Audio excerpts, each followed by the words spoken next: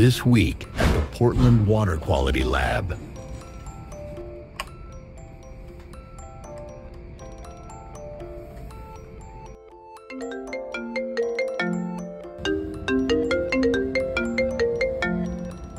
Hello Drippy, this is the Water Quality Lab from the Portland Water Bureau. We have your test results back. We tested for over 200 contaminants from 400 locations across Portland's drinking water system. We have good news and bad news. The good news is that you're healthy and safe to drink.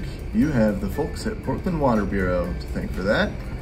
Uh, now I uh, understand PFAS has been of concern recently.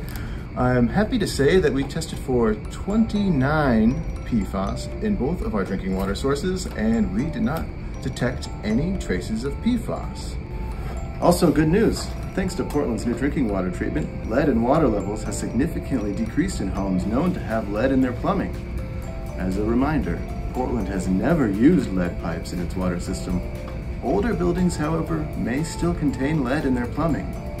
Since bringing our new water treatment online, we've seen a significant decrease in lead exposure. Here's the bad news. Many people won't know about all the work that goes into keeping you safe to drink unless they read the 2025 Drinking Water Quality Report. Not only does it have answers to common water quality questions, but it also includes updates on treatment improvements to our drinking water.